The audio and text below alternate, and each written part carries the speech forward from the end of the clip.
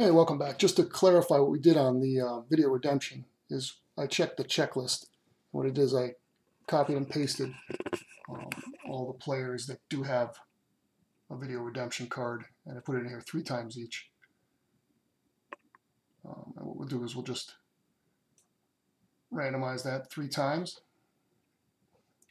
Uh, first time, Colorado again, two times. Ottawa.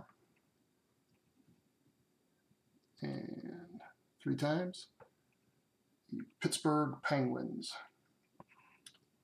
So Pittsburgh, uh, Simon Despres um, will actually be the proper winner. Um, and I will make that correction and upload this video as well. Um, what we'll do for, for the future, I'll have to make note of that, that what we'll do is when there's a checklist like that, um, and I will double check with the, the winner on that as well. Just when there's a checklist like that, we'll use the actual um, players that are involved rather than uh, all 30. But just to keep things uh, fair for those that are purchasing the teams.